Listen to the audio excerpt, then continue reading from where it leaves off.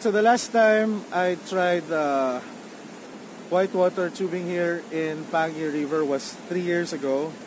Now, after three years, it's a lot better. It's a lot crazier this time. And uh, yeah, that big fall was really exciting. Welcome back nga po pala sa inyo. Sir, ah, welcome back po kayo. First time sir, welcome din po kayo. Yan, ganito lang po yung gagawin natin pag nasa tubig na po tayo, umulang po tayo, sandal, bawat sasakyan po natin jeep or salbabida ay may dalawa pong kawakan, hawak lang po tayo. Po. Ang importante po natin gagawin pag nakita tayo sa tubig ay pag-balance po ng ating katawan. Balance po talaga yung number one. Kasi pag hindi po tayo marunong mag-balance, may posibilidad na tayo matumba or matao. Pag sakaling tayo tumaob, ano pong dapat natin?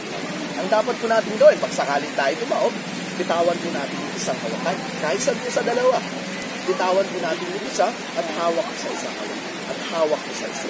Kasi po, pag hindi natin binitawan yung isang hawakan, pag sakaling tayo tumaob, matatabunan po kayo itong salbabita niyo. At mahihirapan po kayong rescue ng river guide kung nasa likod. Kasi po yung river guide po natin ay nandyan lamang po sila sa likod. Sila po yung naghahawak ng tubig. Sila po yung bahala kung saan po kayo idadaan or ita-challenge. Sila po yung nagsisilbing driver po natin yung river guide po natin nasa likod. At pag sakaling nabitawan naman po natin dalawa yung hawakan, pag sakaling tayo tumaob, mas mabuti po kapit uh, isang parts dito sa salbabida po natin. At kung kaya po natin dapaan, yung salbabida po natin, mas mabuti po. Para mas madali po tayong i-rescue ng ating guide sa likod. At pag may bato naman po sa harapan, wag lang po natin sisipain. Angat lang po natin yung ating paa. Po. At pag wala naman, baba naman para sa pagbalance. At ganoon rin po sa bandang utan po natin. Pag may makita po kayo na bato sa harapan na pwedeng tatama po sa inyong dyan, pakiangat yung band natin. Opo. At pag wala naman, baba naman para sa pagbalance. Kasi kung lalim ng tubig natin sa ngayon ay nandyan lamang po. Sa 2 to 3, 4, 5 to 6 feet lamang po yung lalim. Mababaw po siya. Pero medyo may kalakasan talaga yung agos. Medyo may kalakasan talaga yung current. Pag sakaling tayo tumaob, huwag lang po natin subukan tatay sa gitna ng tubig. Kasi kung baka yung mga tuhod po natin ay tatama po sa mga bato.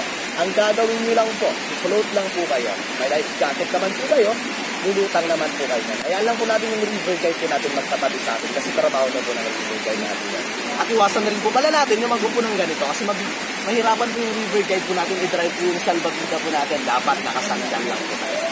Yun. At, ang, at, pag, at pag nangangawit naman po yung leg natin kasi nakakangawit talaga yung ganitong atin sa leg. Sabihin nyo lang po sa river guide nyo para makapagpatabi muna po sa gilid para makapag-relax muna. At pag hindi naman po kaya yung impact ng tubig na tatama sa mukha, sabihin pa rin po sa guide para ma-advise po kayo kung ano yung dapat na kayo. Yun, yung layo nga po pala ng tubig natin is 2.1 kilometers at bago po yan, sakay po tayo ng habal-habal at po tayo sa taas. At yung layo nga po pala ng daanan natin is 2 kilometers po at may lalakarin po tayong 300 meters. Lalakarin po tayong 300 meters. Sali na po sa adventure yung lalakarin po natin. Ang makukonsume po pala nating oras, 45 minutes to 1 hour. Lahat-lahat na po hanggang sa pagsakay ng habal-habal. Hanggang sa pagpaalog na po natin sa ilog hanggang sa pag-end po natin. Yun lang po. Huwag niyo po isipin na kayo matumba or mataot. Yung isipin niyo po yung enjoyment ngayong hapon ito lang po. Okay, maraming salamat. Thank you.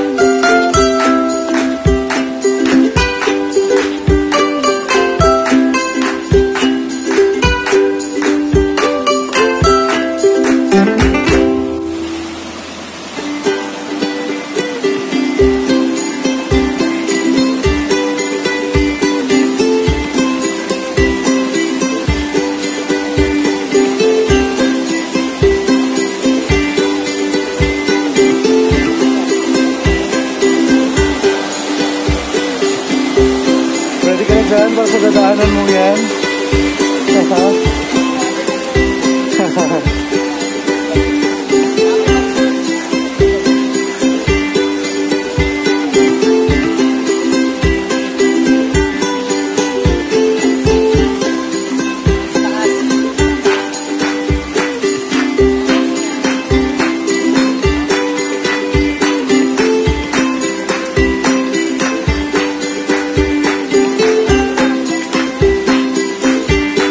Mountain na yan.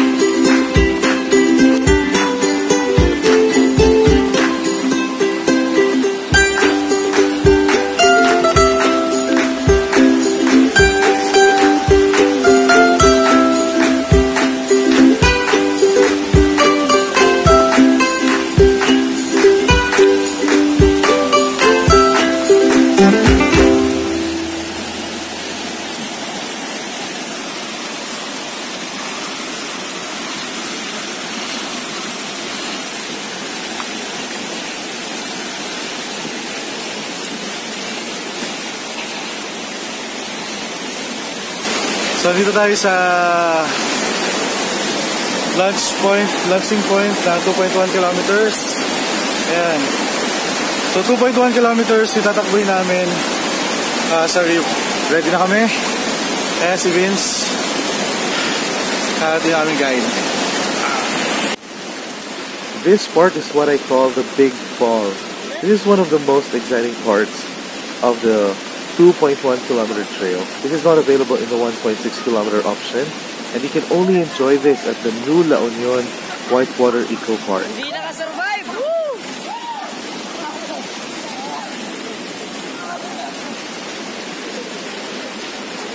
Yung unang hulog.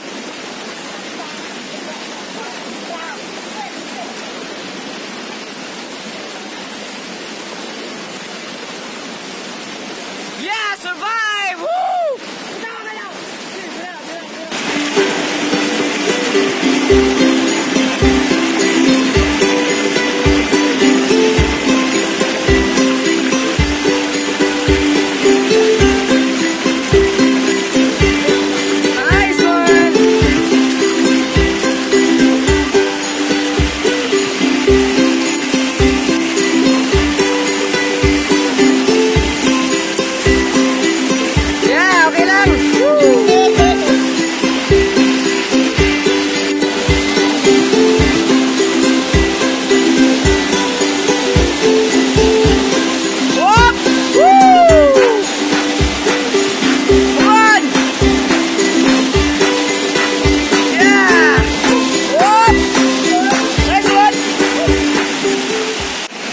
While extreme adventure is fun, safety is a priority concern of the new La Union Whitewater Eco Park.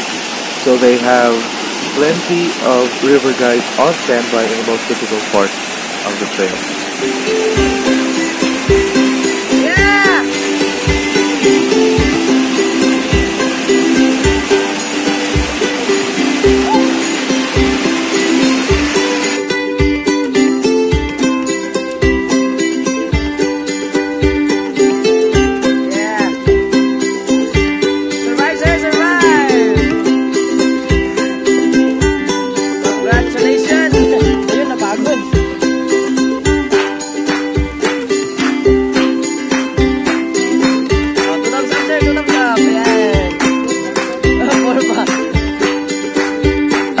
Pa, pagkatapos ng adventure, enjoy native food dito lang sa Maitum.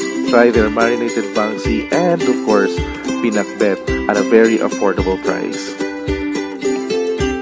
And of course, we're inviting you to visit the new La Union Whitewater Tubing Eco Park here in Maitum, Sarangani Province. Hashtag Masaganang Maitum, hashtag Sarangani Your Adventure. Thank you for watching. Please subscribe.